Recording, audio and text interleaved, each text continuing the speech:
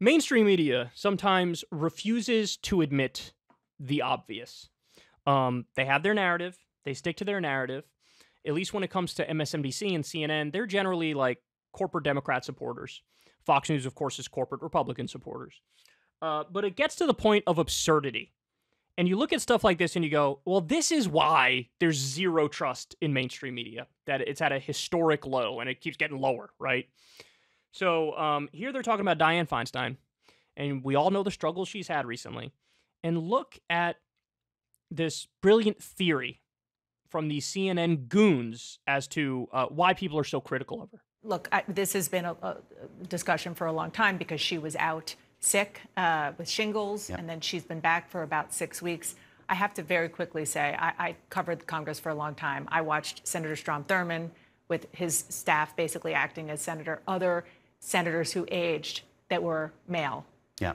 How much of this do you think is that she is not a male. Well, look, that's certainly part of what's going on here. And uh, one encounter that I had over the course of the reporting of the story was Nancy Pelosi. I was walking down the hall with her. She saw another reporter who had written a story about Feinstein, and she said, think about all the people you've seen, all the men who uh, have been in bad shape. I'm not going to name them, but you know who they are. And so that is definitely a factor here.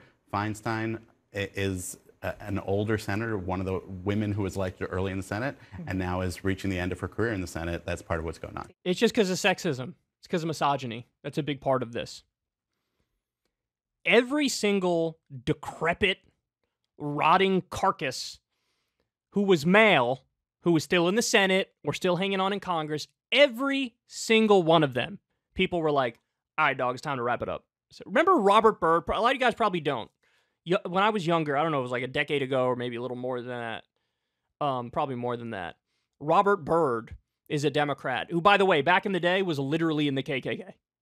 So he's that he's so he's so he's so old. He was a Dixiecrat Democrat, like the super racist and openly racist ones, and he was still there and he was in a wheelchair. He didn't know where the hell he was. And there was plenty of chatter about, oh, it doesn't look good, bro. Time to wrap it up. Time to wrap it up. Time to wrap it up. People used to talk about Reagan's cognitive health because, you know, he was struggling with dementia later on as well. So the idea that, like, well, when it's a guy whose brain doesn't function, they think that's totally fine. Literally, nobody thinks that's fine. Nobody thinks that's fine. But what you're doing here is I mean, this is like the bastardization of identity politics. Is the idea that you could just, you know, pull the woman card as a weapon to deflect from obviously legitimate criticism.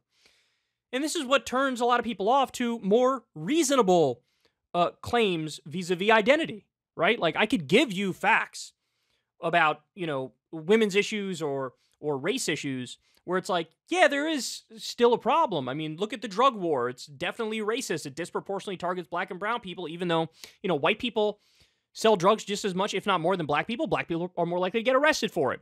White people use drugs at the same rate, but black people are more likely to get arrested for it. Like the we know these things, we know these things, we know these things. Intergenerational wealth, etc. We know these things. So there are real issues there. But when you just you know pull out the woman card just to use it as a shield to deflect from the most obviously sincere and correct criticism of all time, you guys look like total hacks because you are hacks. Let me explain something to you. Dianne Feinstein doesn't know where she is. That's not hyperbole. That's not Kyle trying to juice it up for comedic effect. She was asked by a reporter about the time she was missing, and she was like, What are you talking about? I wasn't missing. I've been here the whole time. They were like, Girl, you were gone for months. What are you talking about? You were in the hospital, you had shingles, you had all the complications around it. What are you talking about? You can't say, oh, it's because she's a woman. Because she's a woman, bro. You guys don't even believe that. Come on, you know you don't believe that. She'll sit in meetings and they'll talk about an issue, let's say abortion, and then as soon as that issue's done, she'll bring up the issue of abortion as if you weren't just talking about it. It's just in one ear and out the other. In one ear and out the other. They won't let her wander the hallways alone for fear of where she go, where she'd go, and what she'd say. They literally have somebody like babysitting her every step of the way. She forgets she forgets people's names, people who she's known for decades. Decades. Not only is this not fair to the American people, it's not fair to her.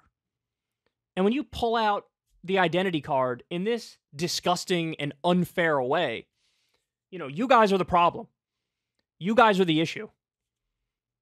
And it's same thing like when they used to bring up use the woman card for Hillary Clinton, like the criticism against her just because she's a woman. No, maybe it's because she's immensely corrupt. Maybe it's because she supported the Iraq War. Maybe it's because she supported all the outsourcing deals that shipped our jobs overseas. Maybe there are legitimate criticisms, and you should engage honestly with those things instead of swatting it all aside in a haphazard and brazen way. Just being like, well, she's a woman. She's a woman, so. Look, if there are instances where there is a genuinely, you know, sexist, misogynist attack against a politician, yeah, we'll point it out. Be like, yeah, that's that's sexist. That's sexist. This is not that. This is not that. Every single person on the right and the left and the center who's saying, hey man, Dianne Feinstein, time to wrap it up, bro. Every single one of them is sincere and is correct, and they've simply read the reporting on her current state of mind. And by the way, just so you all understand, there's currently an ongoing scam to keep her in office. Yes, I use that word on purpose. Nancy Pelosi is using her trying to keep her in there like weekend at Bernie's, barely alive, and they're trying to keep her in there. And uh, they're doing it because that's the only way Adam Schiff, her preferred handpicked candidate, has a chance at becoming the senator from California.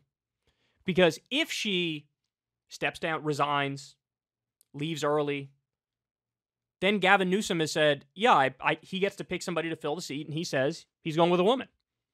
He's going with a woman, and I think he may have said may have said a black woman too. I don't know if he did. Then like Barbara Lee would be the prime choice, right? They don't want Barbara Lee.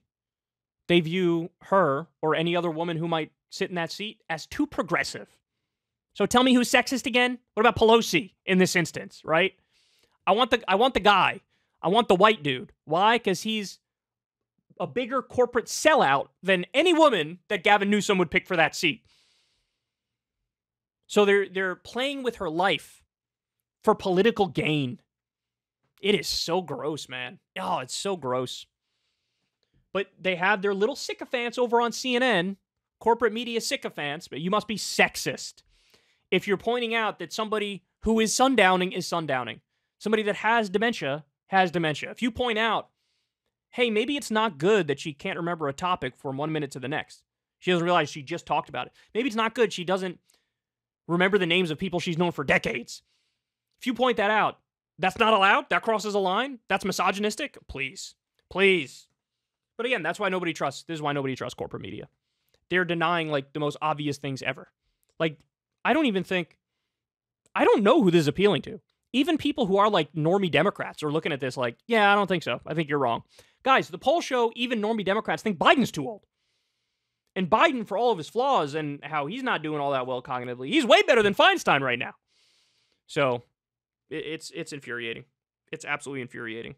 Um, it's hackish. They know it's hackish. They know it's not true, but they're pushing that narrative. Hey, y'all, do me a favor and like and subscribe. It helps out big time in the algorithm. Click the bell as well for notifications when videos drop, and watch that video on screen right now. You know you want to.